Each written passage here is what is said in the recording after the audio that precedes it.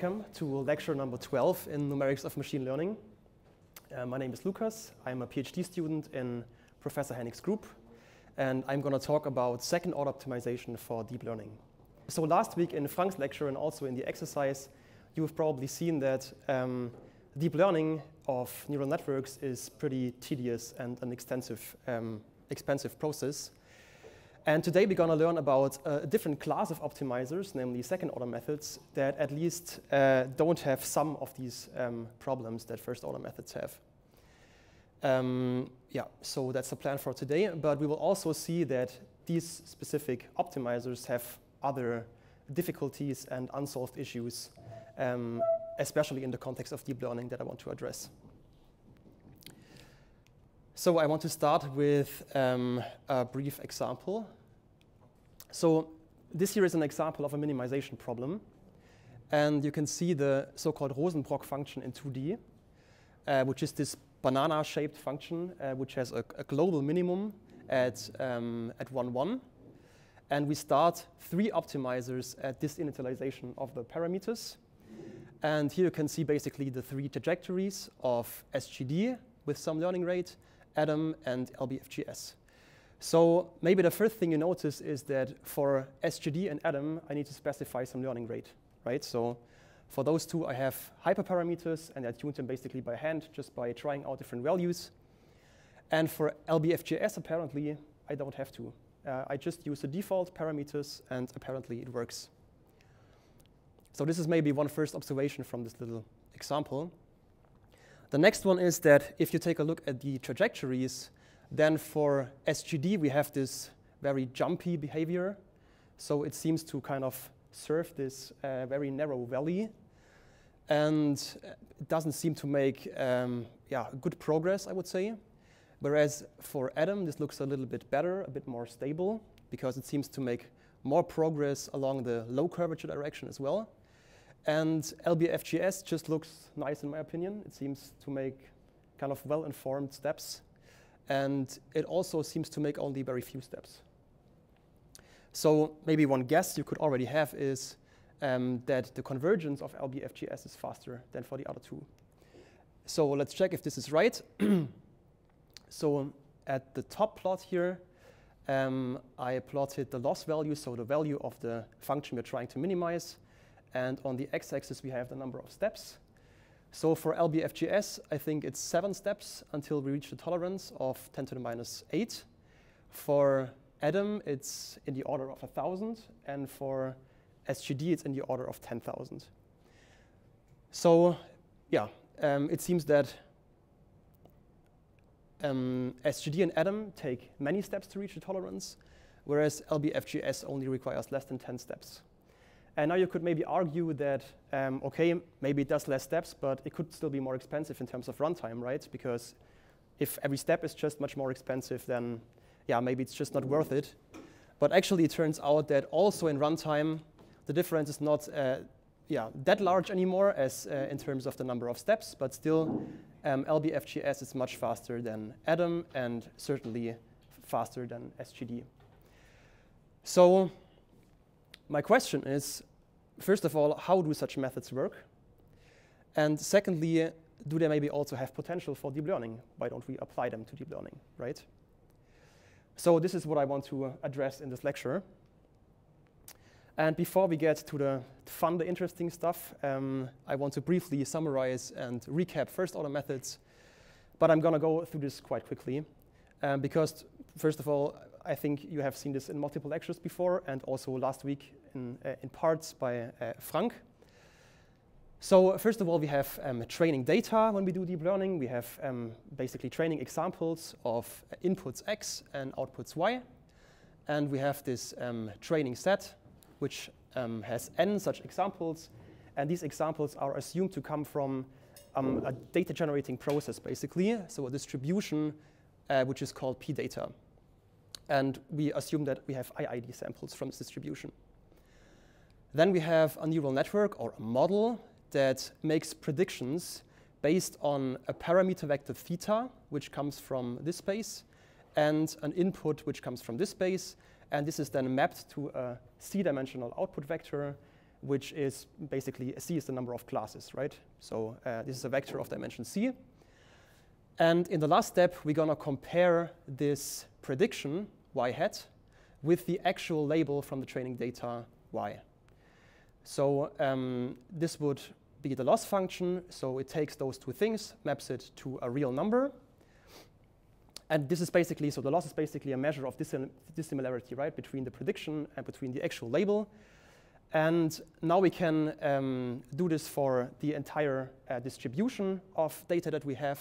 So the expected risk is defined as the expectation, um, basically um, taking samples from this data generating process and then taking the expectation over these numbers. Okay, so this would be the expected risk. And so the problem with this is if this is our objective function, which we want to minimize, we cannot because we usually don't have access to this distribution. So what we do instead is we compute a Monte Carlo estimator. Um, you should know about them from uh, Professor Hennig's lecture. So you can basically replace the expectation with an average, you could say. And we just plug in those numbers of the loss for samples coming from the distribution. This is basically the idea of a Monte Carlo estimator. So we end up with the empirical risk, the Monte Carlo estimator of the expected risk. And our goal in deep learning is to find a configuration of our network, so such a parameter vector theta that minimizes this empirical risk. Okay, I'm sure you know um, that there are uh, numerical methods for this, like gradient descent. So here the idea is pretty simple. We just go into the direction of the negative gradient because the negative gradient points into the direction of steepest descent, right? Um, so this is usually what, first order methods do. They take the gradient and they um, compute the next iterate, in this case, theta k plus 1. And in this case of gradient descent, this is the old parameter vector minus alpha times g. Alpha is the learning rate or step size, and g is the gradient of our target function, the expected risk. So in 2D, this would maybe look something like this. So the, the lines here are contour lines. So we have kind of a, a bowl-shaped function. And we start with some iterate theta k and go into this direction of the negative gradient. This would be the idea. Now, maybe most of you already see the problem. We have the same problem as before. We cannot really compute this gradient because we don't have access to the data generating process. So again, um, we can compute an, an, estimate of this on finite data using a Monte Carlo estimate, which leads to stochastic gradient descent, SGD. So the idea is we can estimate this thing on finite data. So this could be training data. It could also be um, which it is in practice, a mini batch of data, which is much smaller than the actual training data, and then compute a Monte Carlo estimator for the gradient, which looks like this. So it's, again, an average over individual gradients. And these individual gradients, uh, so there is one for each example in the mini batch, right? So for example, if we have three such um, examples, a batch size of three, then we get three individual gradients, as Frank has already uh, also shown you in the last lecture. And the average of these three orange arrows is this estimate g hat. Okay? And a nice property of this gradient is that it's unbiased because it's a Monte Carlo estimator. It's uh, yeah, provably unbiased. And the SGD update then looks like this.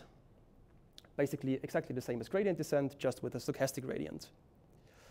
And the efficiency of such methods can be improved if we use, for example, uh, moving averages, so something like momentum, um, because then you get more robust estimates of, um, of the gradient, for example.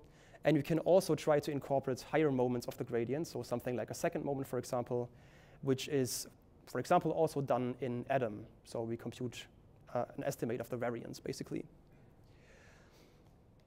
All right, so on this slide, um, I, I try to show you that gradient-based methods are sensitive to the condition number. So what is the condition number? It's simply the ratio of the maximum and the minimum directional curvature. And the condition number is denoted by kappa.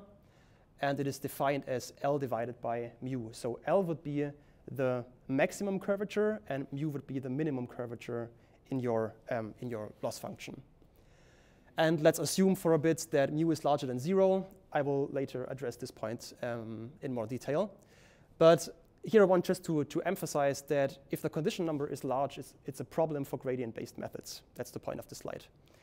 So if the large curvature in this, um, in this bowl-shaped function is the same as um, the small curvature, which means that we're in such a case here, then the gradient is actually um, a, a, decent direction, I would say.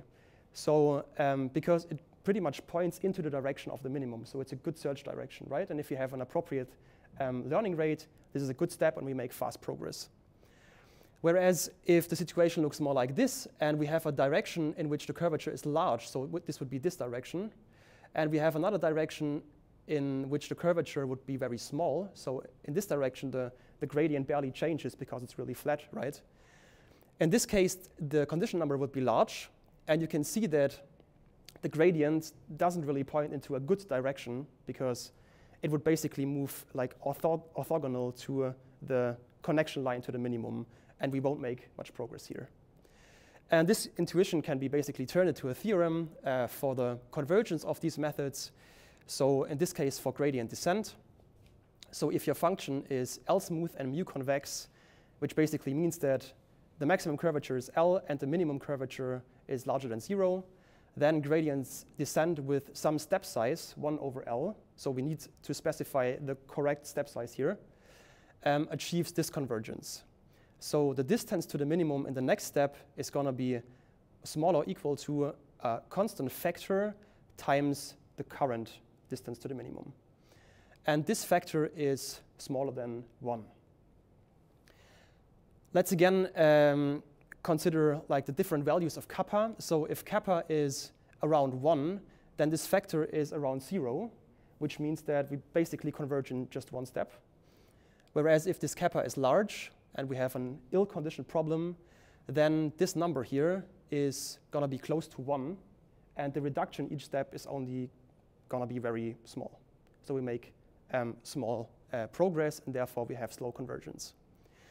And the result is pretty much similar for SGD. It converges also linearly, which means that it also has this constant reduction, reduction factor in each step.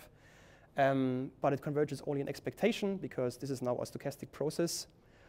Um, it doesn't really converge to the solution, but only to some like level determined by the noise in the gradients, and also at a slightly slower rate depending on how noisy the gradients are.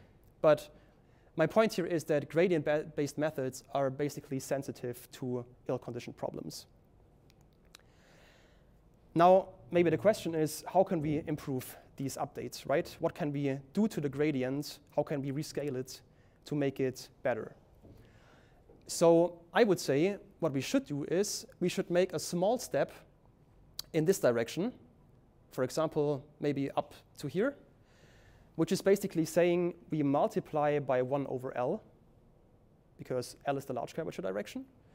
Whereas in the small curvature direction, where we have curvature mu, we want to uh, also multiply or rescale the gradient in this direction with 1 over mu.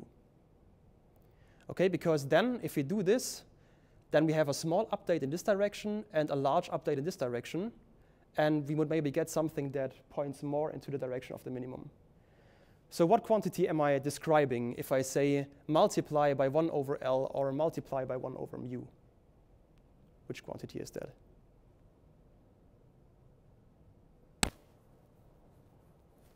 Yes?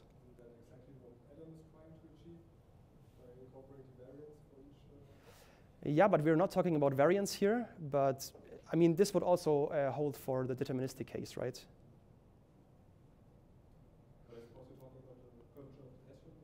Yeah, it has to do with curvature, exactly. And maybe more precisely, it has to do with inverse, inverse curvature, right? Because I say multiply by 1 over L or multiply by 1 over mu.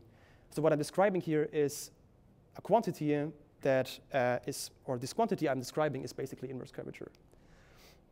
So in order to reduce this or eliminate um, this dependency on the condition number, we have to introduce um, or access inverse curvature. And this leads directly to second order methods.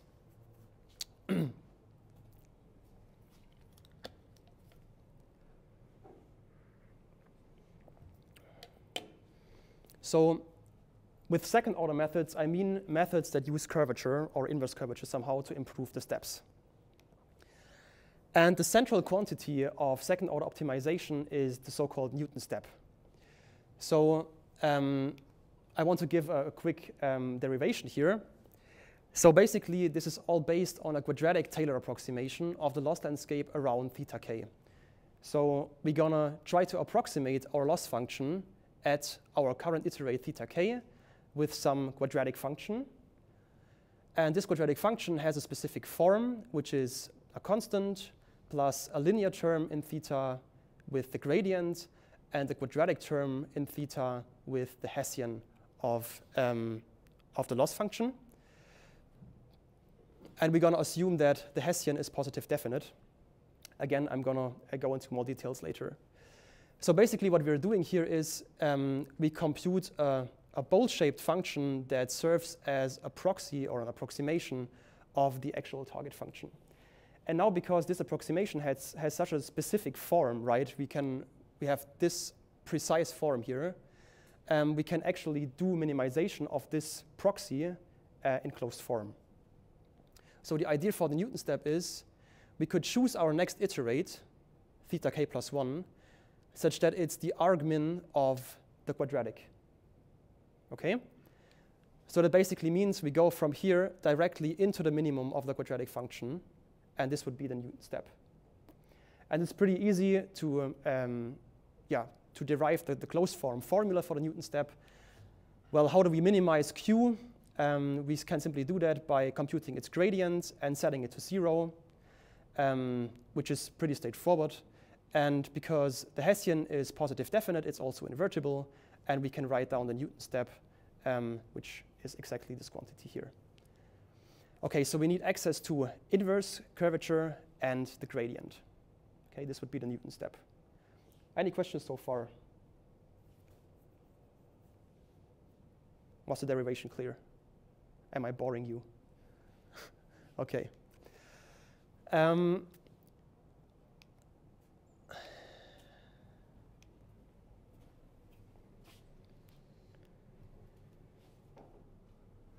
okay, so the Newton method can be much faster than a gradient-based method in certain situations.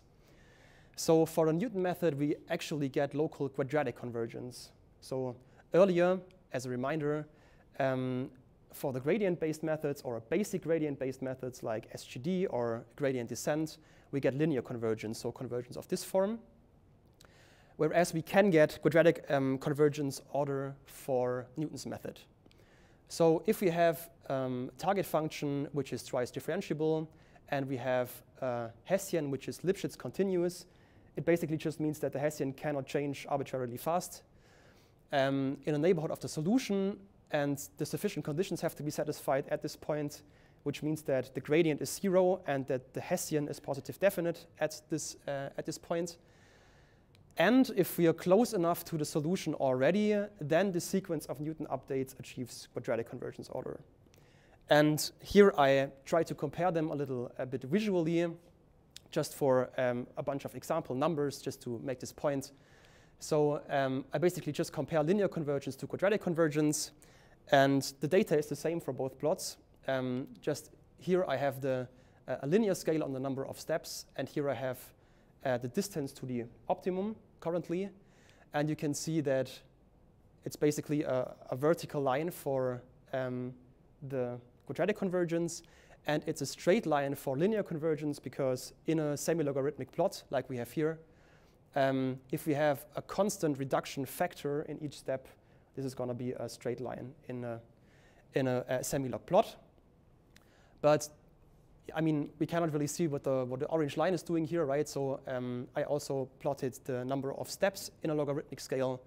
And we can see that for, for this particular example, we would need something like 10 steps for Newton and something like 1,000 steps for uh, a method with linear convergence. So my point is Newton method can be really fast in certain situations. So on this slide, a little maybe an, an intermediate summary. So Newton methods seems great, right? it is, uh, it is uh, robust against ill-conditioned problems, so it doesn't have this dependency on the condition number.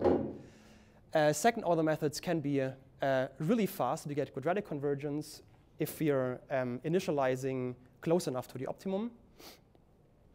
In contrast to gradient-based methods, Newton steps have a natural length. So with that, I mean that um, in the proof for the convergence of gradient descent method, we needed, that, um, we needed to specify the learning rate, basically. We needed the learning rate to be 1 over L. And such a thing didn't appear in the convergence theorem for Newton, right? So apparently, Newton steps have a natural length scale and don't need this learning rate, at least in certain situations. And last but not least, they have a long success story and are the default choice in many scientific fields. So why don't we use them for deep learning? Why don't you use them for deep learning? Yes?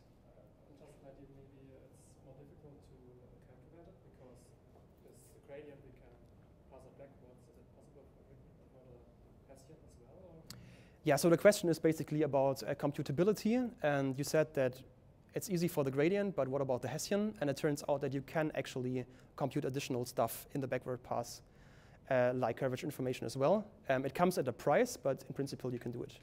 Yes? I mean, the Hessian of a large neural network is just large. Like yes. Uh, I don't know, 100 million parameters. Exactly. Yeah, that's a good point. So cost is a problem. How do we store such a huge matrix is a problem. More ideas. Yes? Sorry, can you repeat?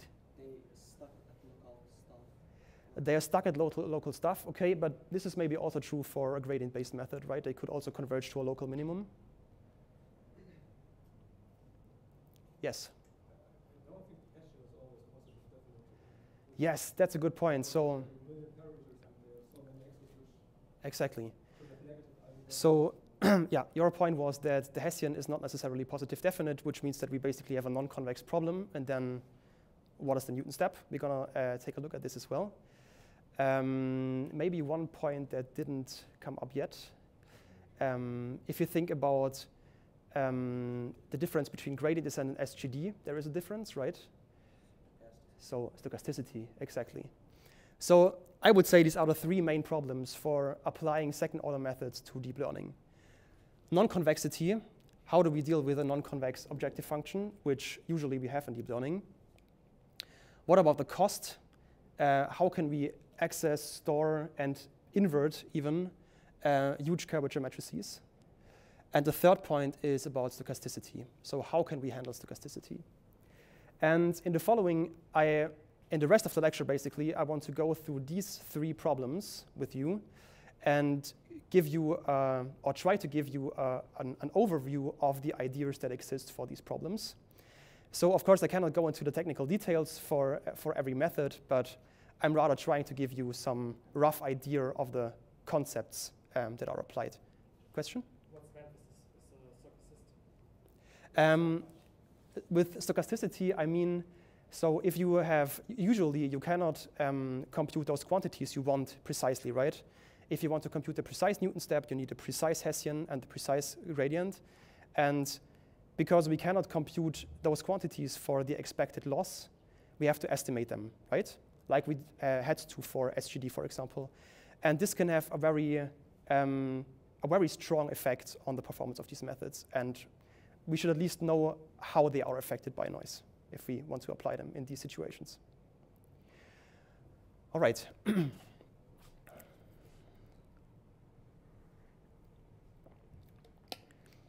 So let's start with uh, the first point, non-convexity. How can we deal with non-convex objective functions?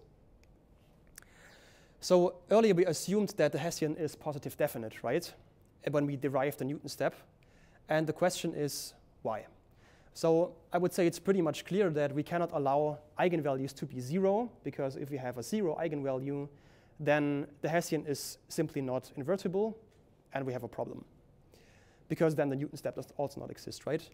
But why didn't we allow negative eigenvalues?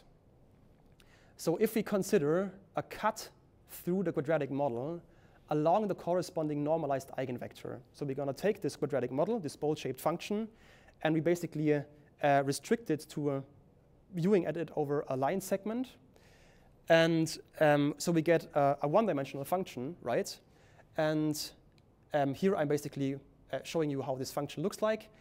So we're going to start from our current iterate, and we go into the direction of the eigenvector E um, with some, you could say, step size tau. So we're going to consider this as a function of tau. And if you now just plug in the numbers for the quadratic model, uh, you can write it in this form. And now the interesting bit is the curvature. So um, we have h times e. e is an eigenvector. So h times e is the same as lambda times e. We can pull lambda in front because it's simply a scalar. And we are left with e transpose e. And because I assume that it's a normalized eigenvector, this is the squared norm, which is just 1. So we can simplify to this thing. And if we consider this as a function of tau, this is simply a quadratic function, right? It's simply a parabola, which makes sense because a cut through a multi-dimensional quadratic is a parabola. It kind of makes sense. But the interesting thing, again, is um, so, so first of all, this is a parabola, right, in tau with a constant curvature lambda. So if you compute the second derivative of this fun function with respect to tau, it's going to be lambda. And this is nice because it gives us an intuition between the connection of eigenvalues and curvature. So if you consider a cut through a quadratic function along some eigenvector, the curvature along this direction is going to be the eigenvalue. So I think this is a nice intuition. Um, and in this specific case, we assumed that this lambda is negative, right? We want to know what happens if we take negative eigenvalues. So think about how this parabola looks like if this curvature is negative. It's bent downwards, right? So if we take a large enough tau, if we let this go to infinity, the quadratic model is simply unbounded from below, which means that the Newton update is meaningless because it was fundamentally based on the idea of minimizing this quadratic. And now if I have a negative eigenvalue, then this quadratic does not have a minimum. So in this case, like you uh, correctly said, um, it doesn't work, right?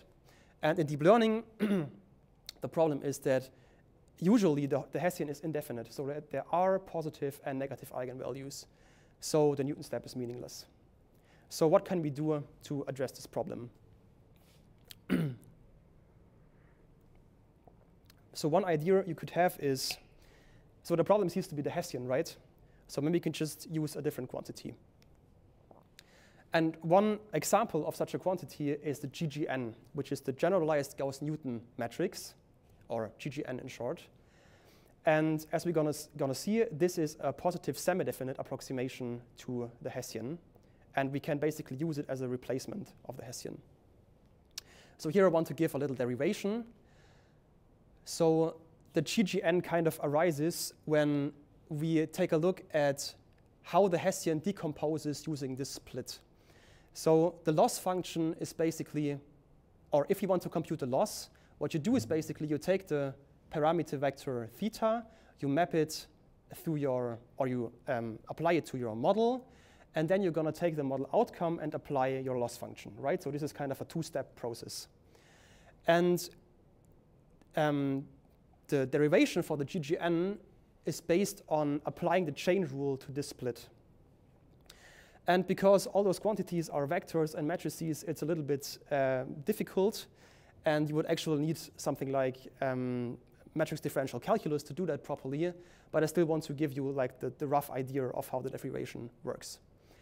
So if we now compute the gradient of the loss, and we want to do this with chain rule according to the split, the idea would be to compute the derivative of the loss with respect to f and then of f with respect to theta. So this would be the chain rule, right? And this is exactly what happens here. So if we want to compute the first derivative of the loss with respect to theta, we first take the derivative of the loss with respect to f, so with respect to the first argument, and then we take the uh, derivative of f with respect to the parameter theta. So this is basically simply how chain rule works. Just that it looks a little bit more difficult here because we have those matrix uh, quantities here. So J would simply be the Jacobian of the model with respect to theta. Okay, now if we want to uh, do this another time, we can.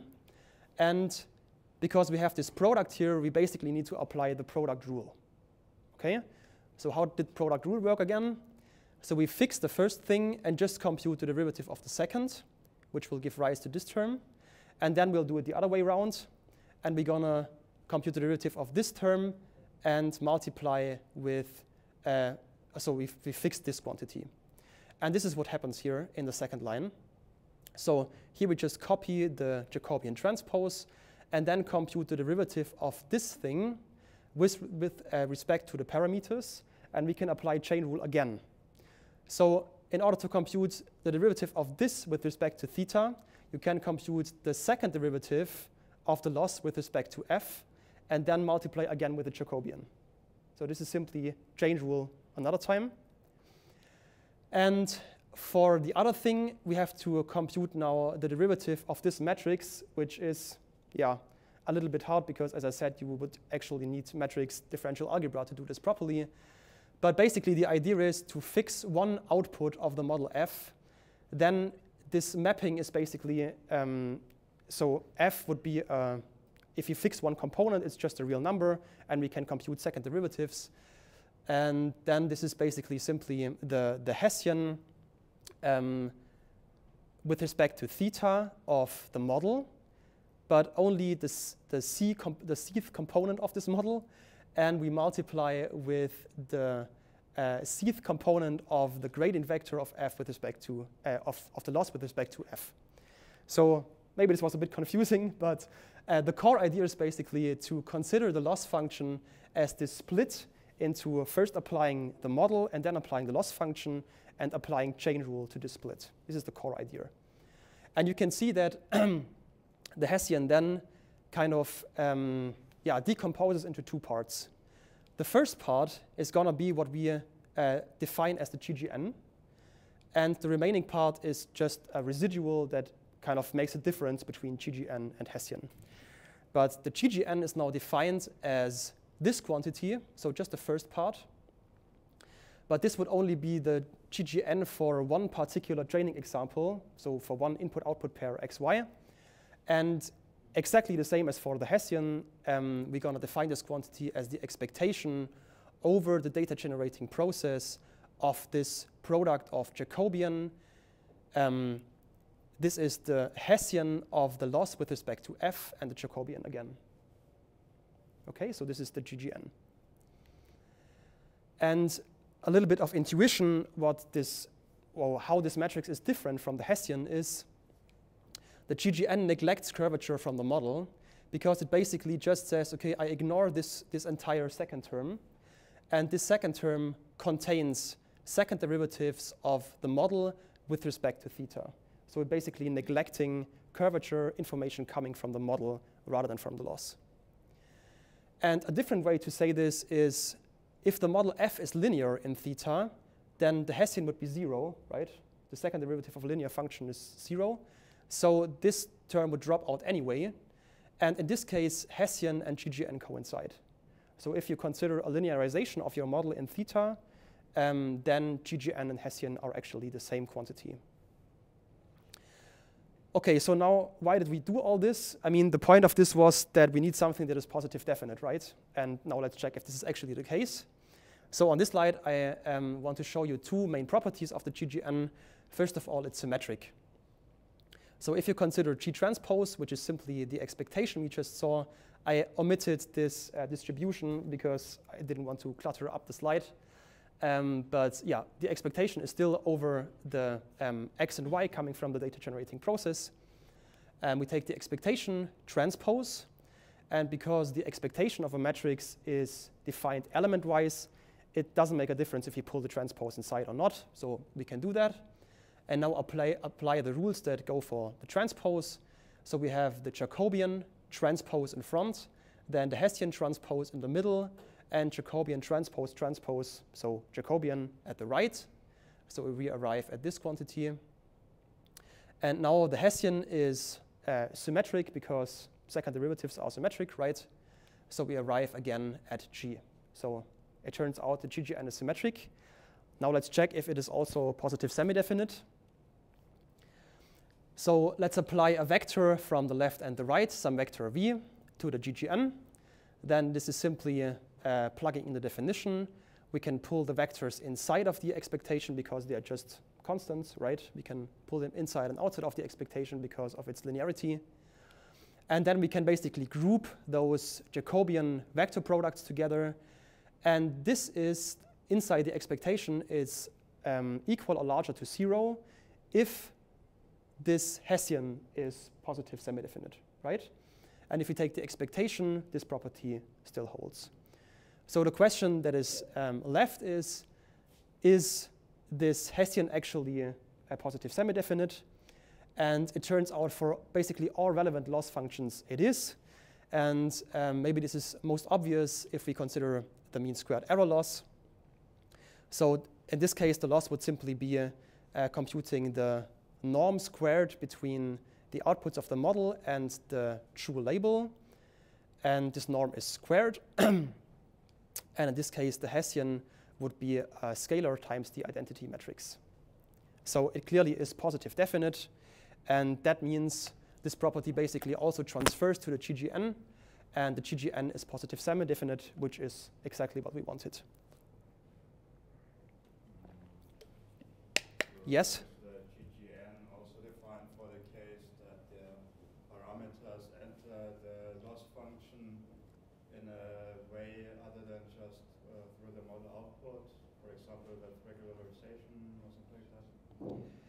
Um, I think you could still compute something like the GGN for that. But I mean, it's, it's really, it's fundamentally based on the split. So if you don't have the split, I'm not sure if it's still well defined. Um, yeah, we'll, we.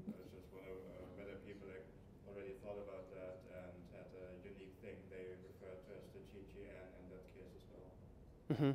So one thing that, that, I, that I can think of is maybe compute the GGN still for the loss function and just simply compute the Hessian of your regularizer. Because, uh, for example, for L2 regularization, this is simply an identity matrix, right? And then you could maybe have something like GGN plus parameter times identity, which is simply damping, and we're going to talk about this a bit later. Um, so this is maybe one thing you can do. But I think, like in this definition, it's, it requires the split of model and loss function. Yeah.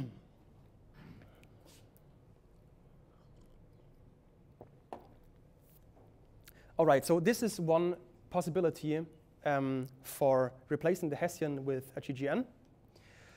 Because in this case, it's positive semi-definite, right? And um, it gives us a, a well-defined Newton step. And there is also another matrix, which is called the Fisher information matrix. So assuming that you can write your loss function as a negative log likelihood. So this is, for example, true if you have um, um, a softmax and a cross entropy loss then your, mo your model basically describes a distribution over the classes because you get this, this vector of dimension c, and it's basically a distribution over, um, yeah, as I said, the classes. And in this case, you can define the Fisher information matrix as this quantity. And at this point, I don't want to go into the details, but this matrix is also positive semi-definite, and maybe I can try to give some uh, intuition. So if you replace the Hessian with the Fisher and compute a Newton step, then this is steepest descent in distribution space. So what does this mean? So um, one way to think about it is steepest is basically a ratio, right? If, if you're talking about how steep a function is, it's basically a ratio. And it's a ratio of a difference between two function values and a difference between two parameter vectors. And with this uh, ratio, you can basically say how uh, steep the decrease in the function is.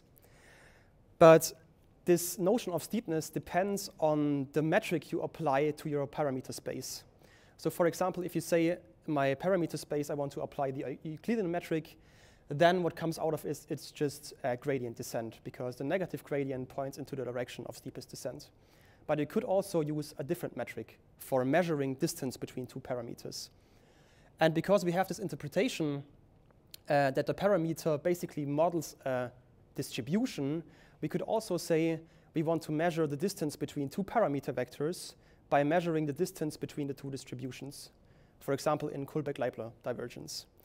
And when you do that, then the steepest descent is actually this step. So the Fisher inverse times the gradient. So this is what I mean by steepest descent in distribution space. It's basically applying uh, Kullback-Leibler divergence to the distributions. Yes? So, so that step would change the uh, output distribution of whatever. Sorry, say again? So that, taking that step Mm-hmm. would change the um, basically output distribution, the, the py given x, Yes, the, the most. the most in some way. Yeah. Yeah, exactly. Yeah. Okay, and there is a strong connection between the Fisher information matrix and the GGN because in many cases, for example, softmax versus entropy classification, those two matrices are exactly the same. Okay, so we have solved the, the problem, I would say, kind of, because we have found like reasonable, meaningful curvature proxies we can use instead of the Hessian, and we get a well-defined Newton step. But even in the convex case, even if the Hessian was positive definite, we have still one problem. And the problem is that the quadratic model can be arbitrarily bad.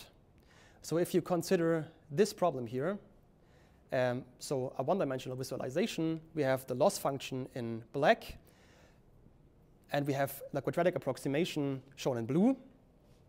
And clearly, if we minimize this function and go to this point, it's not a good step because we actually not decrease the loss, but rather increase it even. And this is maybe something that we want to avoid.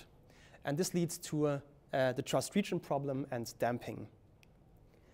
So the idea is basically to restrict the updates to lie within some radius r. So basically a radius in which we trust our quadratic approximation to be uh, precise. And then the trust region problem is uh, we're still going to define the next iterate as the argmin of the quadratic, but under an additional constraint that we don't move too far away from our current iterate. We want to stay within this trusted radius, basically. And this leads to a modified Newton step, which you can see here. So basically, the thing that changed is that we can simply add um, delta times identity. So delta is simply a scalar, and this is the identity matrix. And we add this to the curvature matrix for some delta larger equal to zero.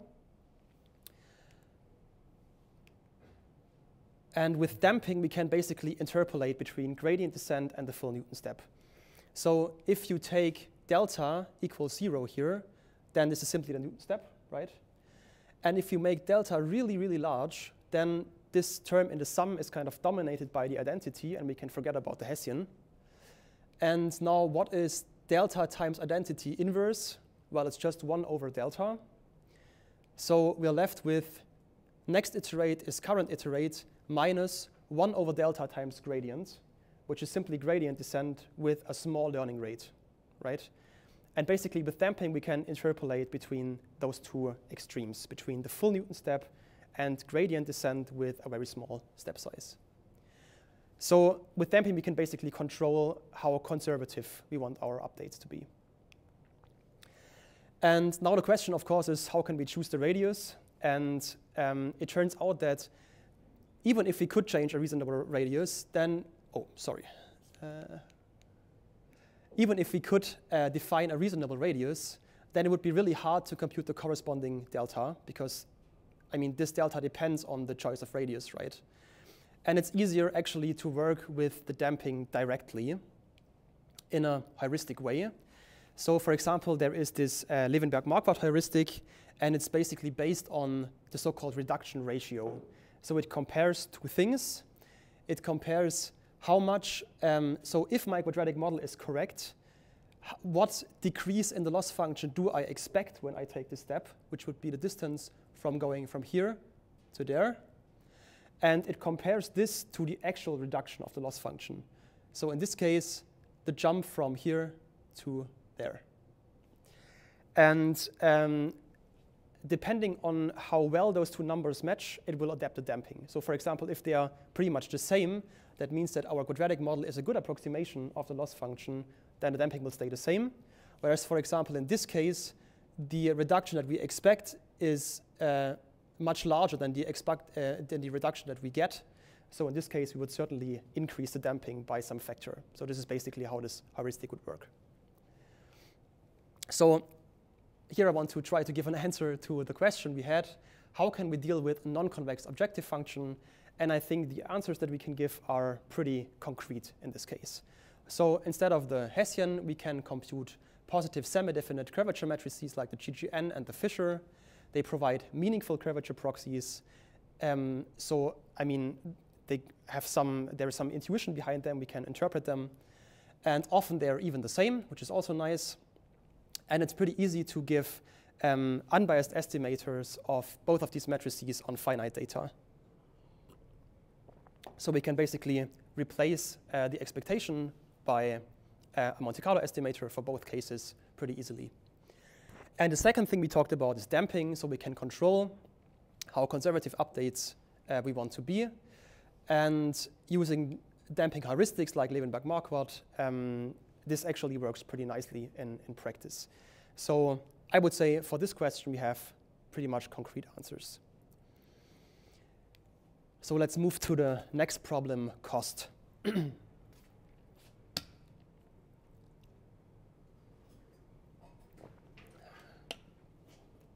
so the question here is, how can we access and invert this huge curvature matrices? So to illustrate this problem, I have a little uh, example. So if we, for example, consider the all CNN-C network, which has 1.4 million parameters, which is, I would say, in modern times, uh, maybe a moderate size of a neural network, maybe even small, um, then the Hessian requires to store p-squared numbers, right? It's a matrix. And if for each number we need four bytes, so if we want to store this as a float, we would have to store 8,000 gigabyte. So I don't know what uh, like uh, machines you have, but I don't have a machine where I can store or even invert such a matrix. So um, what can we do about this? So the problem here is uh, storage is O of t squared, and inversion, at least in the upper bound, is cubically in cost. So how can we do this? And um, for this question, I would say we don't have to reinvent the wheel, right? We can basically borrow ideas from linear algebra. Because, I mean, for example, from Marvin's lecture and also from uh, Jonathan Wenger lecture, um, there are certain ideas we can just use. For example, we could use a low rank approximation of the Hessian, which leads to something like uh, BFGS or LBFGS.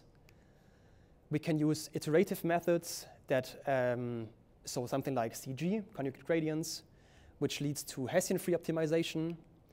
And we could use uh, structured approximations, so approximations that make use of the structure of the curvature matrix, which leads to something like KFAC. Um, so in the following, um, I would like to briefly show you how these uh, ideas work.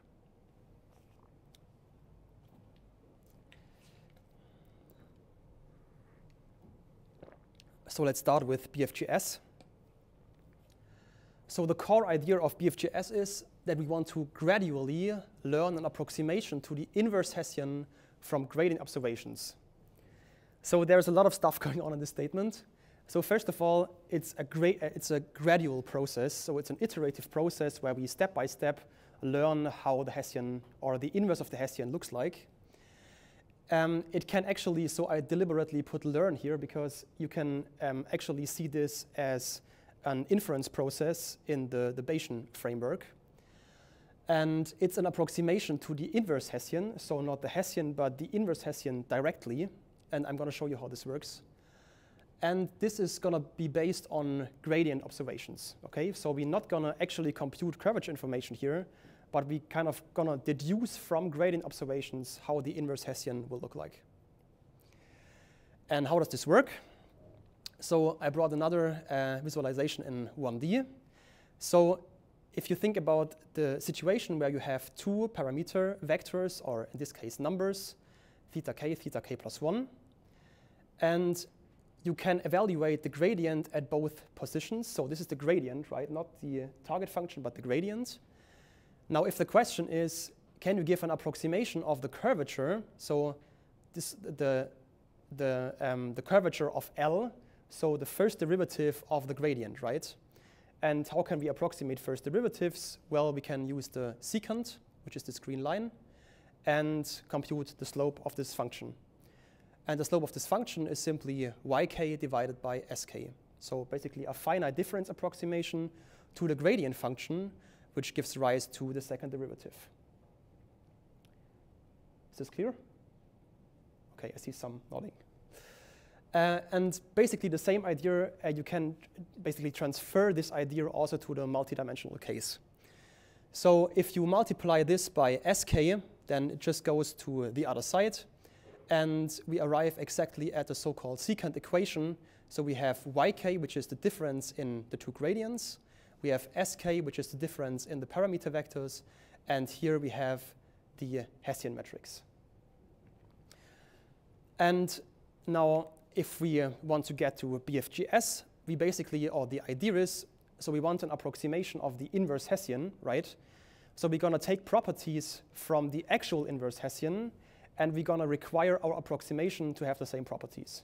That's what I would say a reasonable idea.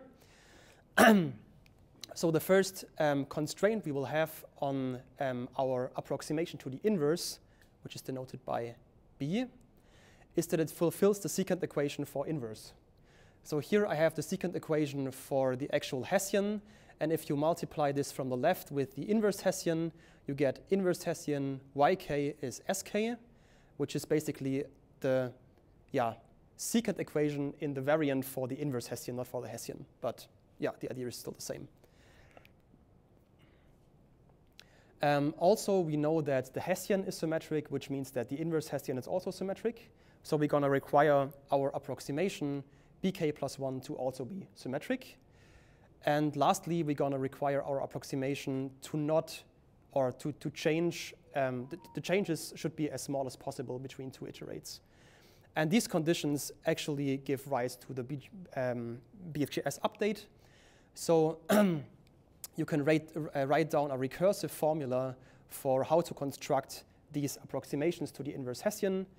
And these updates only involve the previous approximation and the vectors sk and yk, right? So um, basically that's the idea. Yes? So if, if go to the approximation at the, lower right corner for, for the Hessian, right? Yk divided by sk. This one? Yeah. Yeah. So yk is a vector, right? So in this case, it's uh, supposed to be a one-dimensional quantity, but yes, in general, it's a vector. Yeah. And sk is also a vector. Yes.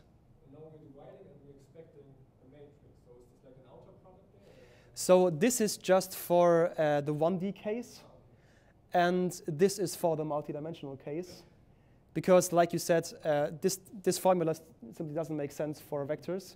So this is simply to explain why the form in the multidimensional case looks as it looks, um, not as a proper derivation. Because I just wanted to make the, the core idea clean, uh, clear, uh, because deriving this would be more complicated. Yes? How is BK initialized? A good question. So usually this is initialized as uh, a multiple of the identity matrix, because what else do you do, right? Uh, but yeah, it. I'm, I am I am not completely sure. So I know that this is like the default choice, but there may be cases where you want a different initialization. So some kind of um, better approximation to the inverse already, um, if you can compute it, than just the identity matrix. So some kind of prior information you already have. Basically some yeah you could phrase it this way yeah. All right. So now we still have a problem because this matrix bk so the approximation to the inverse hessian is still d times d right?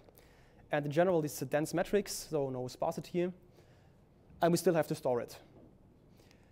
So the idea of um, or the, the insight that is important here is that at iteration k this approximation is the result only of B, B0 and the entire history of those vectors sk and the vectors yk. So if we store those vectors, we can basically recursively construct this matrix. And the idea of LBFGS is that we can still get a good curvature approximation, or uh, sorry, approximation to the inverse Hessian, bk hat, by only using the most recent curvature information. So we're not going to use the entire history of vectors sk and yk going from like the current iteration back to zero, but only like a fixed uh, window of some fixed size L. And with this, the claim is that we can still get uh, um, a good curvature estimate. And that means that we have less memory consumption because now we only have to store two L vectors instead of 2K. And um, yeah, so if L is reasonably small, in some cases it's even one, um, this is much cheaper than storing the entire matrix. And I mean, ultimately, we also um, we, we want to compute the Newton update, right? So we want to apply this approximation of the inverse to the gradient, and it turns out that there is also an efficient algorithm for that, which is called the LBFGS two-loop recursion. But at this point, I cannot go into the details. But just wanted to let you know that there is a specifically designed procedure that is very efficient to apply this matrix to the gradient.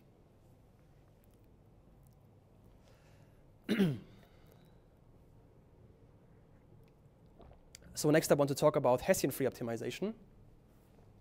So the core idea here is to basically use CG for minimizing the quadratic, because CG is like it's specifically designed for minimizing quadratic functions, right? So this is exactly the case maybe where we want to apply it.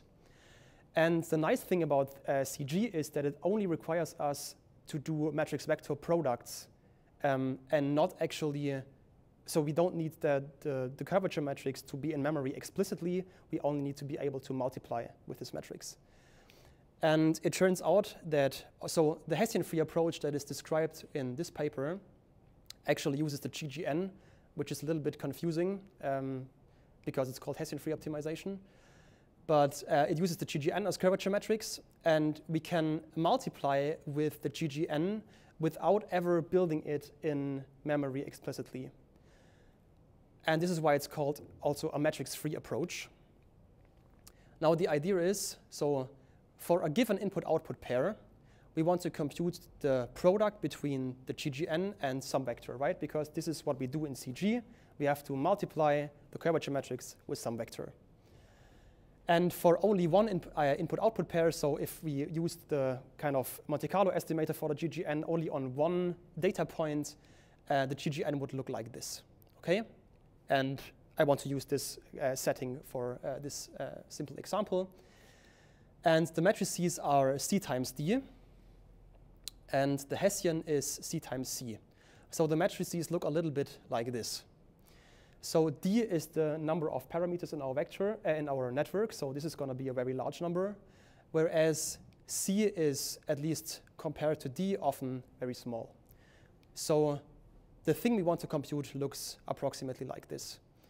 Now, how do we do these metrics, metrics or matrix vector products? So the like the, the naive thing to do would be to just follow this rule and compute J transpose times Hessian times J. But then we're screwed because then this is a D times D matrix, right? So how would you uh, compute these, this product? between those two, uh, between those four objects. Yes. Exactly. Can you uh, explain briefly why this is a good idea? Yeah, because if you first multiply j by v, then it's uh, c times uh, what is v? times still, Uh, no, so j, transp uh, j times v would actually be. yeah, Uh, of course, it's vector. yeah, exactly. Times one, then it's um, still c times one, and then it's d times one. in the end. Exactly. So you basically only have to uh, you only have those tiny vectors of size c that you have as intermediate results. Um, and at no point you have this d times d matrix in memory explicitly, which is nice. But still, um, you could think that, okay, but I need somehow to have access to the Jacobian and this matrix. And the Jacobian is also c times d, right? It's quite large. So we need some way to efficiently multiply the Jacobian with a vector or Jacobian transpose with a vector and so on. We need to do these matrix vector products efficiently. and I'm no expert on, on AutoDiff, but I'm still going to try to uh, explain the core idea of how this can be done efficiently. So we don't have to construct these matrices explicitly. And as an example, we consider the first operation. So we're going to um, try to figure out an efficient way to compute Jacobian times vector. So the core idea is to replace the Jacobian vector product, which we want to compute, by a, by a directional derivative. And this is how it's going to work. So we basically compute or we consider a linearization of our model. Okay. So this is simply a Taylor approximation. We approximate f at, uh, at theta plus delta theta by f of theta plus the Jacobian times delta theta, and we have some error term. Okay, now here appears the Jacobian vector product, but we don't want this to be delta theta, right? We want this to be v. So maybe we can sneak the vector inside there and um, yeah, try to see uh, try to see what's happen happening. So we're going to set delta theta to r times v. So r is a small constant, a scalar, and v is going to be this vector that we want to multiply with. And then you can rearrange the terms. And it turns out that you can write it this way. So uh, j times v is this difference between two functions divided by r, and we have this error term. In principle, you could already use this approximation as an approximation to the Jacobian vector product, right?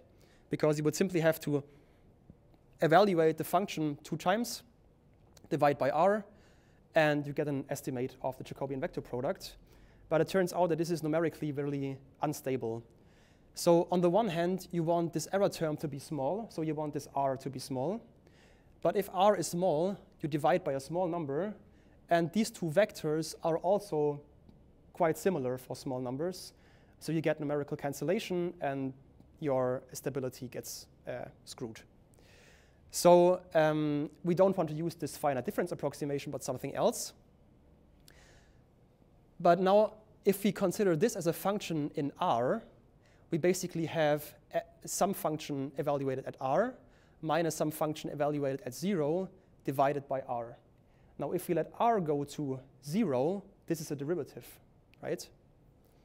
So for r going to 0, we obtain Jacobian vector product is simply the derivative of this function with respect to r, evaluated at r equals 0.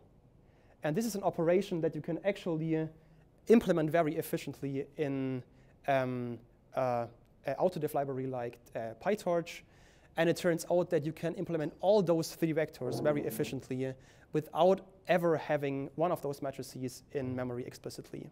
So this can be, very, can, can be done very efficiently using those autodiff tricks, basically. All right, so that's it for Hessian free optimization. We saw that the core idea was applying CG.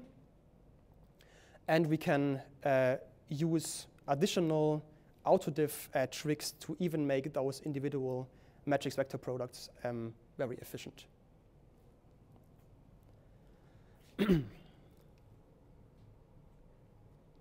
so as a last technique, I want to uh, present KFAC, which is the Kronecker-factored approximate curvature. And this is based on the Fisher information matrix, so it tries to build an estimate for that uh, matrix. And it's basically based on two approximations. The first one is a block diagonal approximation. So we assume that um, the Fisher, or we, um, yeah, we will use an approximation such that the Fisher matrix uh, has this block diagonal structure where it has one block for each layer, which basically means that we will neglect curvature interactions between layers. This is the first approximation. And it's reasonable because it makes inverting this matrix trivial when you can invert the blocks, right? So the, invert, uh, the inverse of this matrix is going to have the same block diagonal structure, but it's going to have the um, block in inverses on the diagonal. So if we can compute those, it's easy to invert the, um, this matrix f hat. And the second approximation is that we exchange two operations taking the expectation and the Kronecker product. So what I mean by that is for a linear layer, the block can actually have or can actually be written precisely in this form. So this is not an, an approximation, it actually has this form. And so it's an expectation over a Kronecker product over two things. over these two um, vectors. And this is approximated using, first of all, the expectation over the first thing, then the expectation over the th second thing, and then computing the Kronecker product of the two. So this is where the approximation happens. And this is also reasonable because if we can write the block as this product of two uh, matrices, um, then inversion of the block is really easy. So if we want to compute the inverse of the block, then, I mean, according to our approximation, so this actually shouldn't be an equal sign, it should be an approximate sign because of this approximation. But um, we can plug in the form for the block, which is AI Kronecker BI. And now we have this nice property of the Kronecker product that we can basically pull the inverse operator inside, and we get AI inverse Kronecker factor BI inverse. And these two matrices are tiny, right? So compared to the block and the entire matrix, these two uh, components, AI and BI, are really small, and inverting them can actually be done. So basically, uh, the cost of storing and inverting F comes down to storing and inverting those components, AI and BI, right? Because from them, you can basically build the entire matrix, and also uh, it's easy to construct the inverse.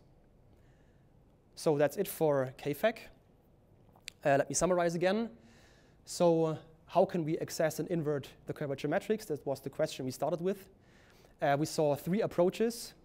And what I'm trying to do on this slide is, first of all, give you a little summary, but also try to give you certain pros and cons for the different things, uh, which sometimes are also based on a personal um, experience or what I know from colleagues, but don't cite me on that, okay? So um, for BFGS and LBFGS, this is basically a dynamic low rank approximation of the Hessian. And it's actually the default choice for small deterministic problems. So for example, if you call SciPy optimize minimize, that's going to be using BFGS or LBFGS. So for example, if you have a really small network and noise is not so much of an issue, for example, because you only have few data points and you can basically uh, compute the um, estimates very precisely, then it might actually be worth a shot to try out BFGS or LBFGS um, to solve this problem because they can actually be really fast in certain cases. Next, we also discussed the Hessian free optimizer, which is quite close to the notion of Newton steps. Uh, so for BFGS, we had this uh, approximation by only a few vectors. And in KFAC, we had this Kronecker factorization, uh, the block diagonal, and uh, so these different approximations. And in the Hessian free approach, we don't have those approximations, right? We take the GGN instead of the Hessian, but apart from that, we don't apply any further approximations. So it's actually quite close to the notion of the classical Newton step. It requires little memory. Uh, so I mean, we don't have to store any vectors, like for example, for LBFGS or for KFAC, we have to store those uh, Kronecker factors. But instead, we have more sequential work because we use an iterative approach. So if we do a lot of CG iterations, this is also quite costly. And the Hessian free seems to require larger mini batch sizes, which is problematic if you have batch norm layers. So this is a little a bit of a complicated story, and I experienced this myself, unfortunately. So uh, the problem is if you want to use larger mini batches, so for example, the authors of this paper by Martens, um, they used something like in the order of 5,000 as mini batch size for an, uh, I think, an autoencoder on MNIST. And if you have such large mini batch sizes, you have to uh, kind of split the computation into uh, um, chunks of data you can actually handle. So for example, if you want to compute the gradient on a large mini batch, uh, you, you uh, take chunks of data which, for which you can compute the gradient, and then you aggregate the results to compute the entire gradient. Okay? But this is kind of based on the assumption that if you take one mini batch and compute the gradient, the result should be the same if you split this mini batch into, for example, two parts and feed them through your network separately, compute individual two gradients, and aggregate those two, right? This should be the same. And if you apply batch norm, it's not. So this is going to be a problem. And unfortunately, so batch norm is still used a lot. And if you want to use Hessian free with large batch sizes and batch norm, you're gonna have uh, a problem. Yeah. So the last thing we discussed is uh, KFAC. It's basically a lightweight representation of the Fisher information matrix. It's widely used, for example, also in uncertainty quantification, and Philipp will uh, talk about this next week. And the KFAC optimizer, as my last point, uh, heavily rel relies on a heuristic damping. So this paper by uh, Frederik Benzing um, basically gave evidence that um, the KFAC optimizer is actually more similar to a first order method than to a second order method.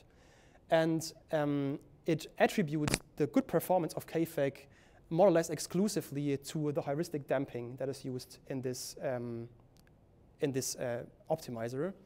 So it's actually questionable if KFAC uh, still contains, or to, to what extent KFAC, this approximation, still contains information from the actual Fisher because of those approximations that are made there.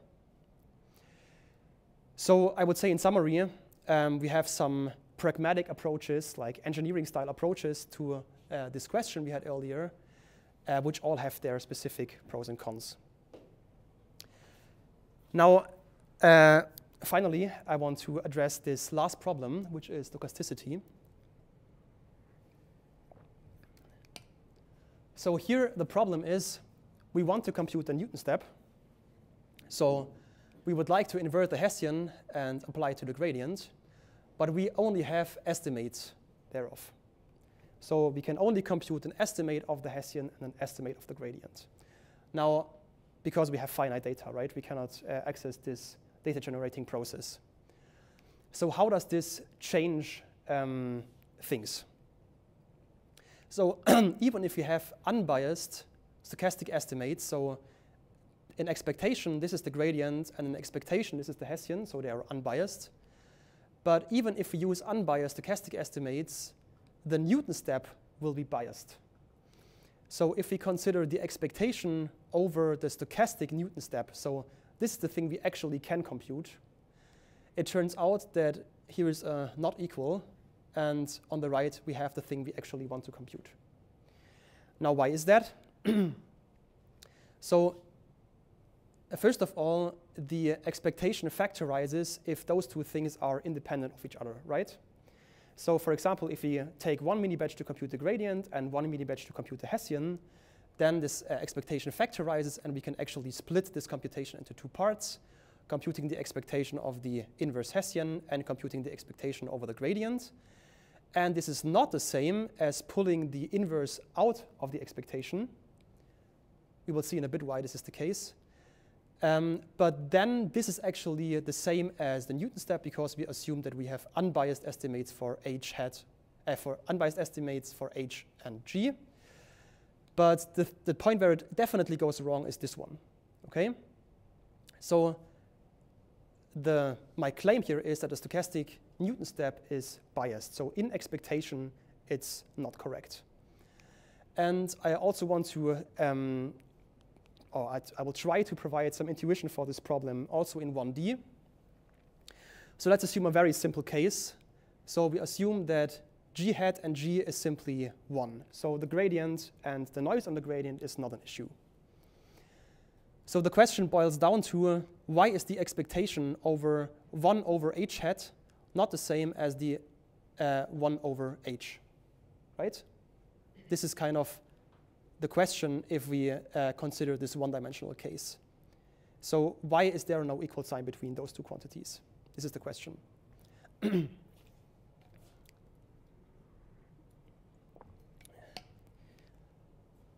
so let's try to understand this in 1D. so we have an estimate of the curvature. So this is actually a, distribution, right? It's, it has some uncertainty and this is shown as the screen distribution. And in expectation, our, um, our estimate is correct. So in expectation, we're going to get h. Now, if we map h through this inverting function, so the inverting function is simply taking the in, uh, inverse of the argument. So in 1D, this is simple, right? We can just write down the, the fraction. Um, then mapping h through this function is going to give 1 over h. So this is the thing that we actually want to compute. Now, what is the thing we actually get?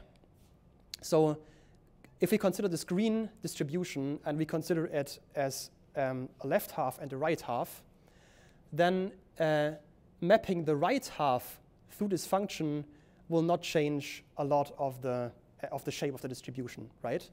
But if we map the left part of the distribution, which, com which comes close to zero, if we map this through this inverting function, then it's going to distort the, the interval a lot. So if we map this distribution through the inverting function, then it will actually uh, break the symmetry, and we get this heavy tail if this distribution comes close to zero. And that means, because of this heavy tail, the expectation, expectation is moved to uh, above, right? So in expectation, our estimate of the inverse curvature is going to be too large. This is basically what I'm trying to, to say here. And if you didn't like my visualization, um, you can also like show this in, in math. So this function phi is convex for positive values. So that means that Jensen's inequality applies, and you can just plug in the numbers and see that the expectation over 1 over h hat is larger than 1 over h, which is exactly what I claim in this visualization. So this means, due to the uncertainty in our curvature estimate, our Newton step is going to be too large in expectation. And this also transfers to the multidimensional case.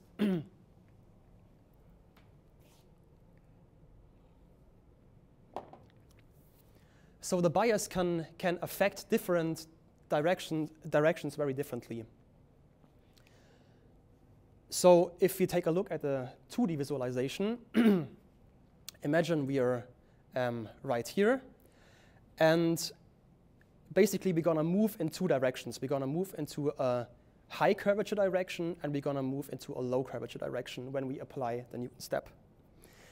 And the high curvature direction, so this direction, is maybe not so much of an issue because here the curvature is large, which means that it's far away from zero.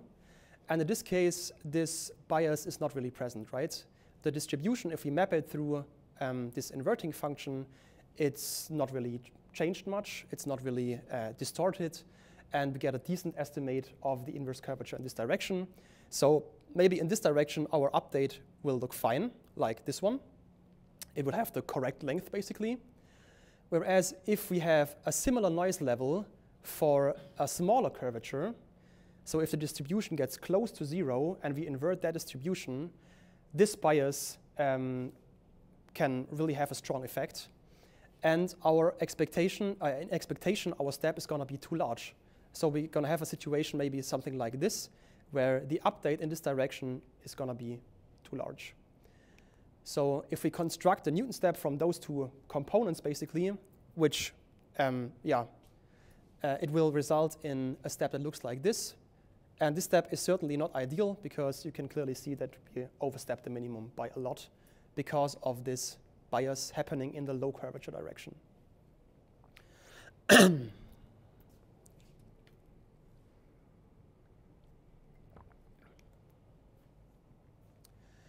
so, so far I talked about biases because of those stochastic estimates. And now I want to talk a little bit about instabilities, but the argument is pretty much the same. So it can simply happen due to chance that we sample an estimate which is close to zero, and in this case, this small error in the curvature estimate is amplified by a lot if we invert it. And we just get a step which is basically arbitrarily large.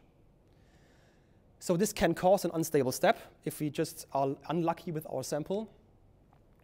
And if this only happens in one direction, it messes up the entire step. So you saw on the slide before, um, we can have an, a decent update in one direction, but if we screw up in another direction, the entire step, step doesn't make sense anymore. So one, I don't want to call it solution, but one way to, um, to uh, um, yeah, maybe soften this, these biases and instabilities a little bit is applying damping. So um, remember that damping was basically adding an, a constant to uh, the curvature which means in this situation we are going to move this um, we're going to move this green distribution to the right.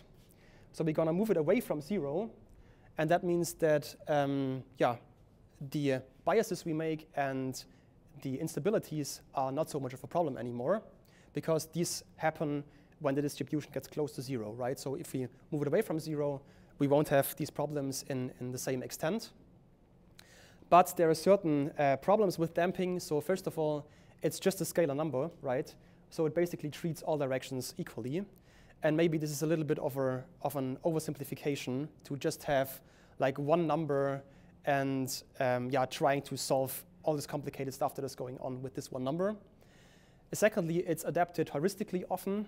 Um, so kind of as an auto loop optimization process where you consider those, um, those reduction ratios. And yeah, it would be nice to have maybe something that is um, yeah, smarter than that and maybe something that is also aware of the stochasticity um, that is in the estimates. So ideally, I think what um, we would like to have is not something that adapts the damping like in an auto loop optimization heuristically, but actually in the inverting algorithm have something that is aware of the stochasticity, aware of the uncertainty in the estimates, and then can decide for itself whether it wants to make whether it wants to make certain updates in certain directions or not to make them. I think this was, uh, would be more reasonable. So to answer this question, how to handle stochasticity, I think this problem is just fundamentally not solved yet. So my guess would be that we need specialized algorithms that are informed by richer quantities. So by richer quantities, quantities I mean um, distributions rather than point estimates. So if you had access to the screen distribution you saw in the visualizations, then you could actually uh, maybe come up with uh, a, a rule what updates to apply and what updates not to apply because you can reason about how, uncertain you are about these updates. And with specialized algorithms, I mean algorithms that can actually use those distributions and like in the inverting process already use those richer quantities. So with that, um, this was the, the last problem we want to, uh, want to discuss. So um, the summary would be, uh, so last week we saw that training neural networks uh, with first order methods like SGD and Adam remains expensive, tedious, and brittle. I'm sure you've also experienced this in the, in the exercise.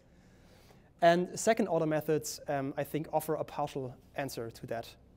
So, um, for example, in that they are robust against ill conditioning, but they come, of course, also with their challenges.